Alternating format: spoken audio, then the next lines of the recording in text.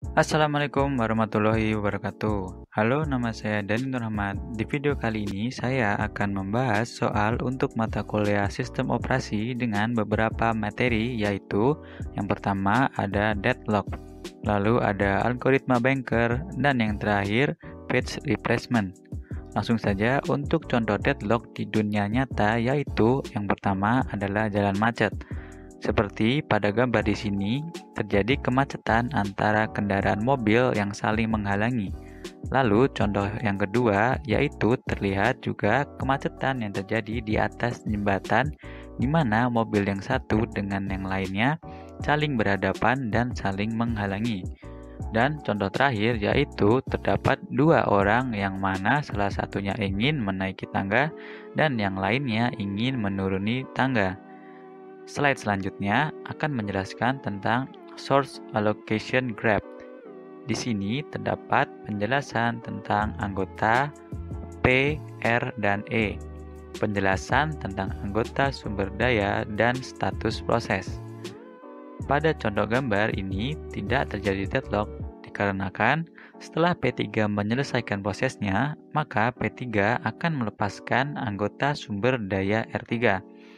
Lalu, P2 akan meminta anggota sumber daya R3.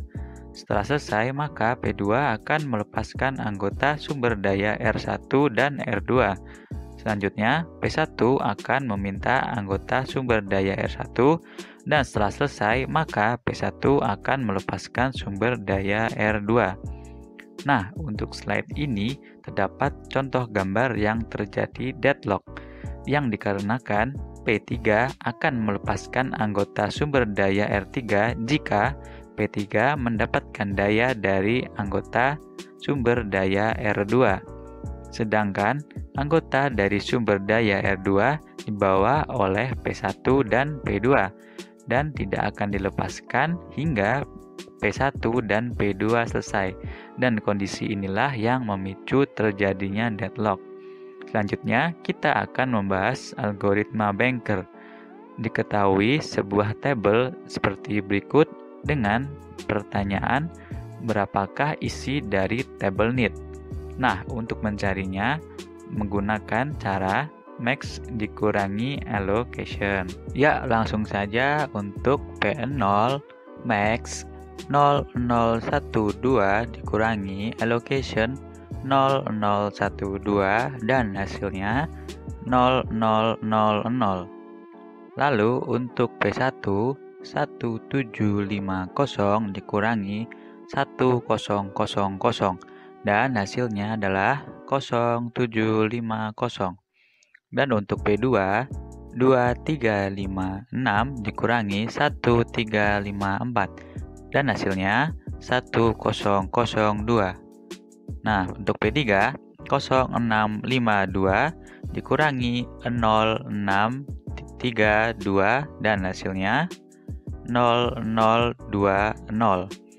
Dan yang terakhir untuk P4 0656 dikurangi 0014 dan hasilnya 0642. Nah, untuk pertanyaan selanjutnya yaitu apakah sistem dalam keadaan aman?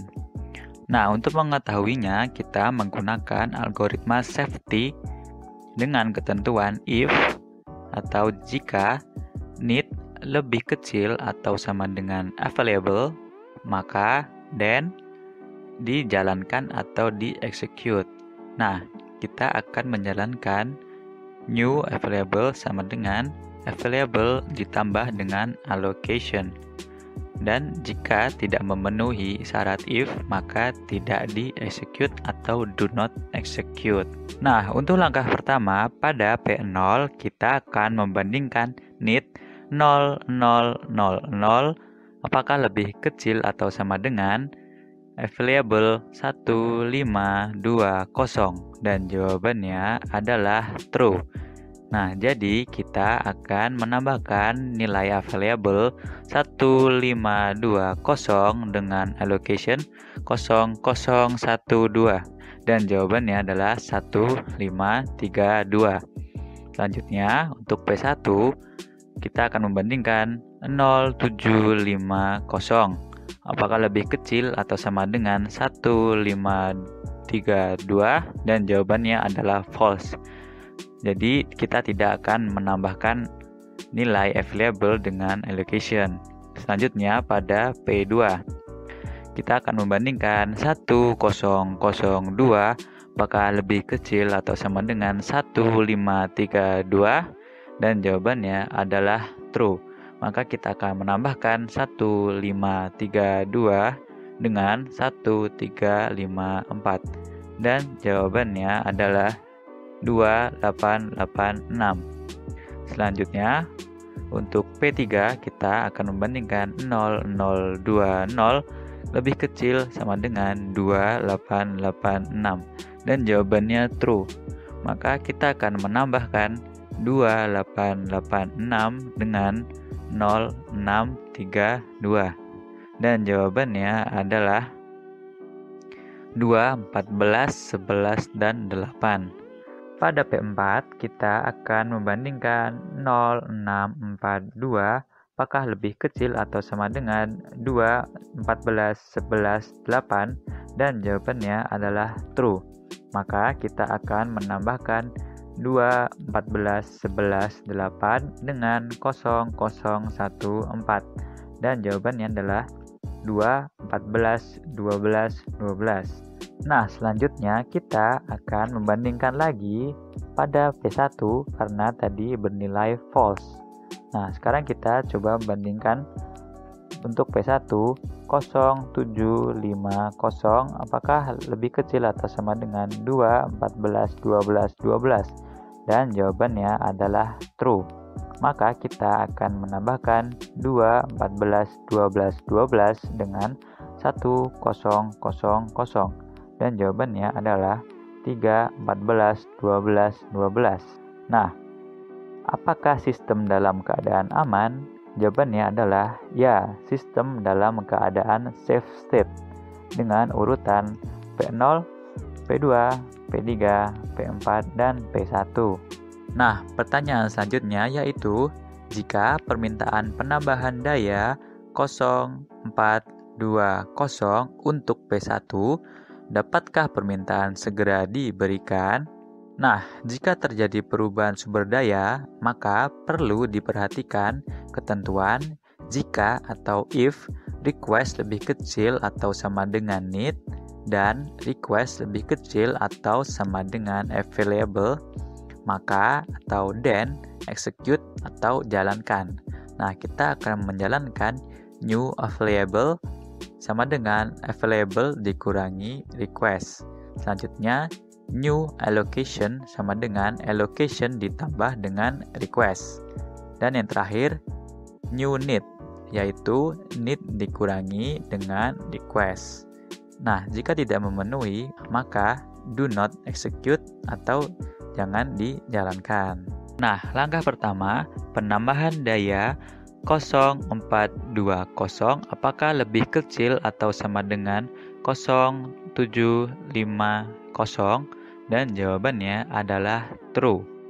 Lalu kita membandingkan request 0420 apakah lebih kecil atau sama dengan available 1520 dan jawabannya adalah true. Lanjut, kita akan mengurangi available dengan nilai penambahan daya yaitu 1520 dikurangi 0420 dan hasilnya adalah 1100. Nah, selanjutnya untuk P1 kita akan melakukan penambahan pada allocation 1000 dengan penambahan daya 0420 dan jawabannya adalah 1420. Nah, untuk menentukan need baru pada P1, kita akan mengurangkan max 1750 dengan allocation 1420 dan hasilnya adalah 0330. Nah, jadi pertanyaannya, jika permintaan penambahan daya 0420 untuk P1, dapatkah permintaan segera diberikan? Dan jawabannya adalah permintaan dapat segera diberikan. Pertanyaan selanjutnya, apakah sistem dalam keadaan aman? Nah, kita akan menjawabnya dengan cara yang sebelumnya. Pada P0, kita akan membandingkan NIT 0000 apakah lebih kecil atau sama dengan available 1100 dan jawabannya adalah true. Maka kita akan menambahkan available 1100 dengan nilai allocation 0012. Nah, hasilnya adalah 1112. Selanjutnya, pada P1 kita akan bandingkan 0330 apakah lebih kecil atau sama dengan 1112 dan jawabannya adalah false maka kita tidak akan menambahkan nilai available dengan allocation.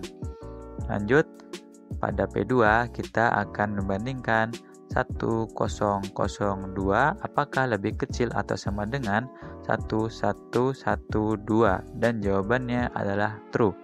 Maka kita akan menambahkan 1112 dengan 1354 dan jawabannya adalah 2466. Lanjut, pada P3 kita akan bandingkan 0020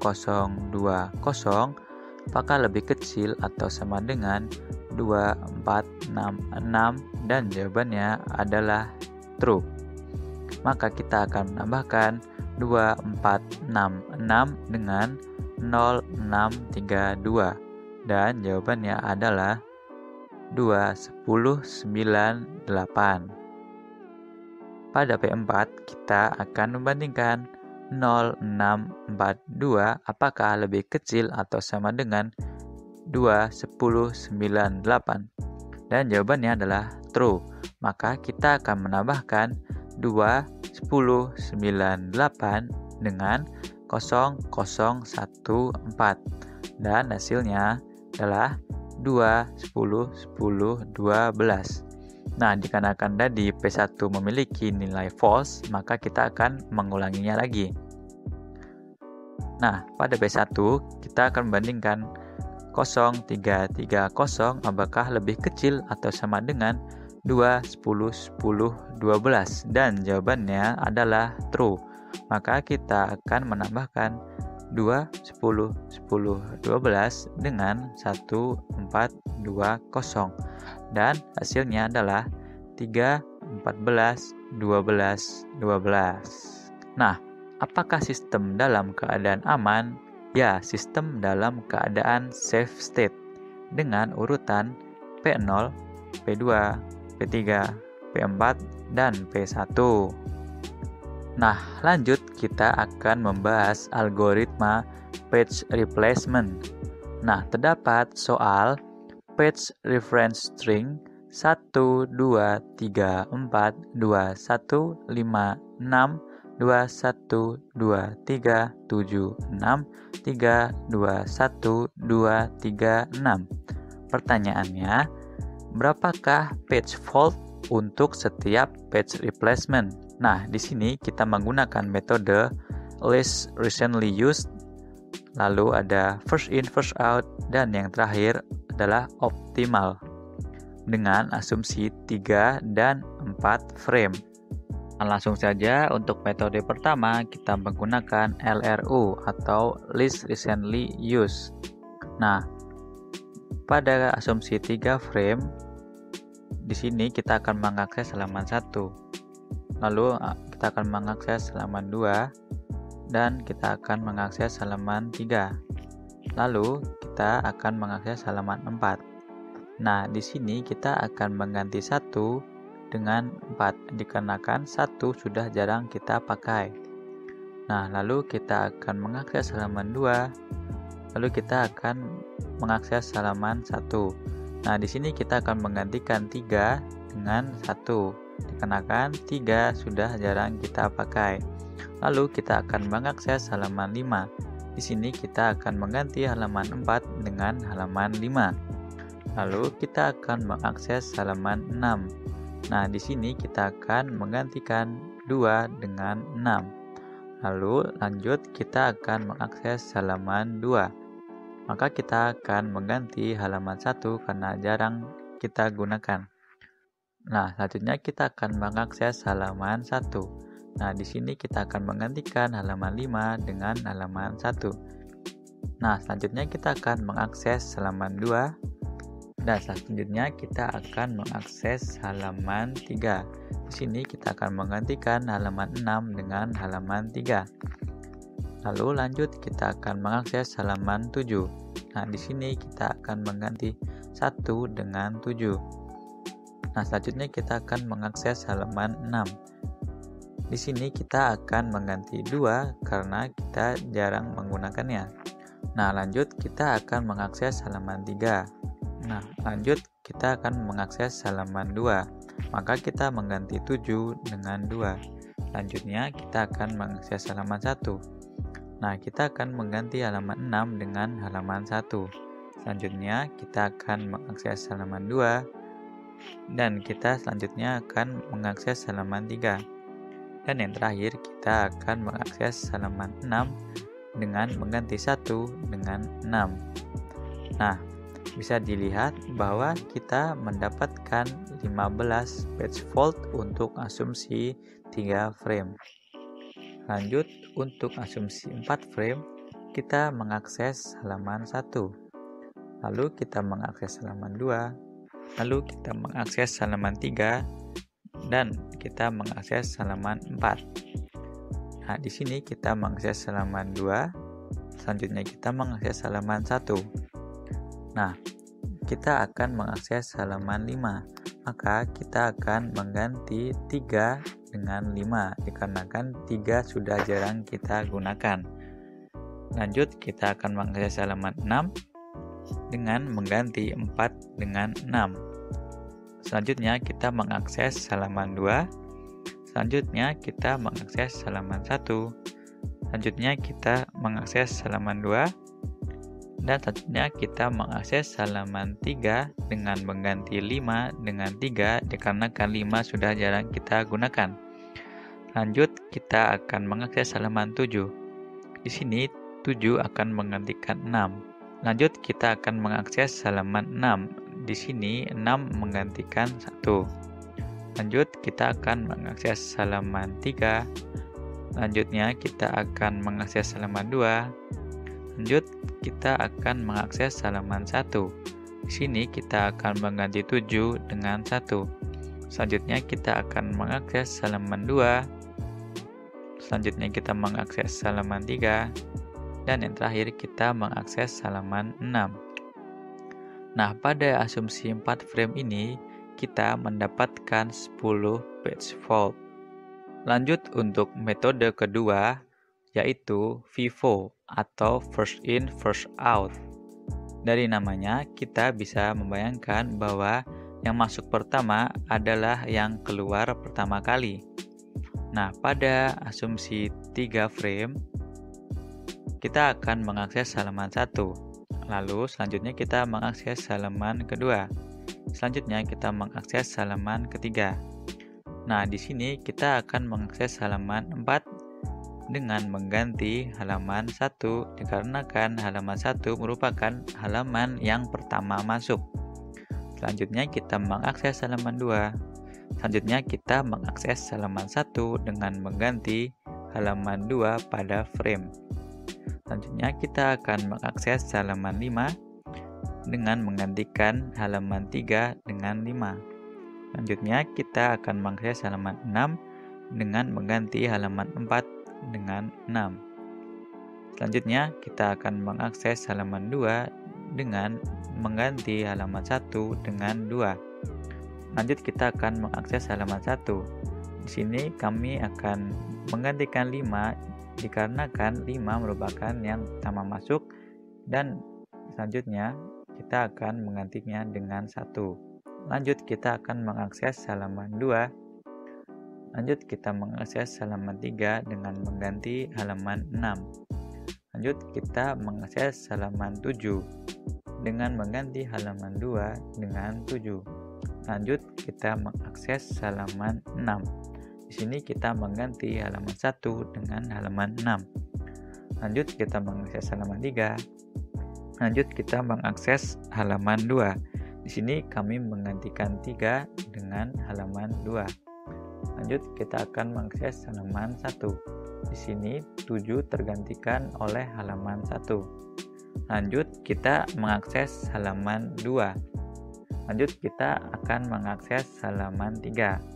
Maka halaman 6 digantikan oleh halaman 3. Dan yang terakhir kita akan mengakses halaman 6. Di sini 2 tergantikan oleh halaman 6. Nah, bisa dilihat pada asumsi 3 frame kita mendapatkan 16 volt. Lanjut pada asumsi 4 frame. Di sini kita akan mengakses 1, selanjutnya kita mengakses 2, selanjutnya kita mengakses halaman 3, dan selanjutnya kita mengakses halaman 4. Lanjut kita mengakses halaman 2, Selanjutnya kita mengakses halaman 1. Selanjutnya kita akan mengakses halaman 5. Nah, di sini 1 akan tergantikan oleh halaman 5. Dikarenakan 1 merupakan halaman yang pertama masuk, maka halaman 1 akan keluar terlebih dahulu. Lalu lanjut kita akan mengakses halaman 6. Di sini menggantikan 2 Lanjut kita akan mengakses halaman 2 dengan menggantikan 3. Lanjut kita mengakses halaman 1 dengan menggantikan 4 dengan 1. Lanjut kita mengakses halaman 2. Lanjut kita mengakses halaman 3 dengan mengganti 5 dengan 3. Lanjut kita mengakses halaman 7. Di sini kami mengganti 6 dengan halaman 7. Lanjut kita mengakses halaman 6. Di sini kami mengganti halaman 2 dengan halaman 6. Lanjut kita mengakses halaman 3. Lanjut kita mengakses halaman 2. Di sini kami menggantikan 1 dengan halaman 2. Lanjut kita mengakses halaman 1. Nah, di sini kita menggantikan halaman 3 dengan halaman 1. Selanjutnya kita akan mengakses halaman 2. Nah, selanjutnya kita akan mengakses halaman 3. Di sini halaman 7 digantikan dengan halaman 3. Dan terakhir kita akan mengakses halaman 6. Nah, bisa dilihat pada asumsi 4 frame kita mendapatkan 14 page fault. Nah, untuk metode terakhir kita menggunakan metode optimal. Nah, pada asumsi 3 frame kita akan mengakses halaman 1, Lanjut kita mengakses halaman 2. Selanjutnya kita mengakses halaman ketiga. Nah, lanjut kita akan mengakses halaman 4. Nah, di sini kita akan mengganti salah satu frame. Nah, di sini kita akan menggantikan salah satu halaman yang tidak akan kita gunakan untuk dekat-dekat ini. Maka di sini kita akan menggantikan halaman 3. Lanjut, kita akan mengakses halaman 2. Lanjut, kita mengakses halaman 1. Lanjut, kita mengakses halaman 5 dengan mengganti halaman 4. Lanjut, kita akan mengakses halaman 6. Dikarenakan 5 tidak akan kita gunakan lagi. Lanjut, kita mengakses halaman 2. Lanjut, kita mengakses halaman 1 Lanjut kita mengakses halaman 2. Lanjut kita akan mengakses halaman 3. Di sini kami mengganti halaman 1 dengan halaman 3 dikarenakan halaman 1 tidak akan kita gunakan untuk waktu yang dekat. Lanjut kita akan mengakses halaman 7. Di sini kami menggantikan halaman 2 dengan halaman 7. Lanjut kita mengakses halaman 6. Lanjut kita mengakses halaman 3. Lanjut kita mengakses halaman 2. Di sini kami menggantikan 7 dengan halaman 2. Lanjut kita mengakses halaman 1 dengan mengganti halaman 6. Selanjutnya kita akan mengakses halaman 2. Lanjut kita akan mengakses halaman 3. Lanjut kita akan mengakses halaman 6. Nah, di sini kita bisa mengganti pada frame mana saja untuk digantikan dengan halaman 6. Namun saya menggunakan frame pertama untuk 3 digantikan dengan 6. Nah, di sini bisa dilihat bahwa pada asumsi 3 frame kita mendapatkan 9 page fault. Selanjutnya pada asumsi 4 frame. Nah, kita mengakses halaman 1. Lanjut kita mengakses halaman 2. Selanjutnya kita mengakses halaman ketiga. Selanjutnya kita mengakses halaman 4. Lanjut, kita mengakses halaman 2. Lanjut, kita mengakses halaman 1. Selanjutnya, kita mengakses halaman 5 dengan mengganti 4 dengan halaman 5.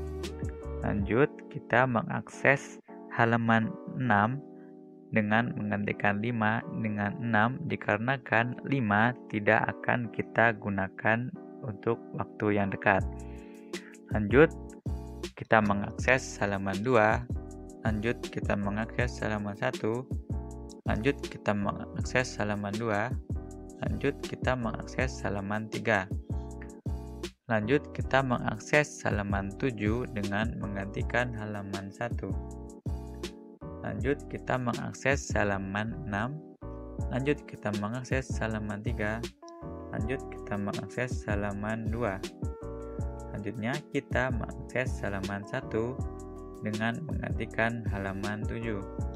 Lanjut kita mengakses halaman 2. Lanjut kita mengakses halaman 3 dan terakhir kita mengakses halaman 6. Nah, bisa dilihat bahwa kita mendapatkan 8 page fault pada asumsi 4 frame.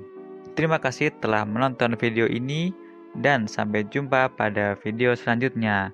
Terima kasih. Assalamualaikum warahmatullahi wabarakatuh.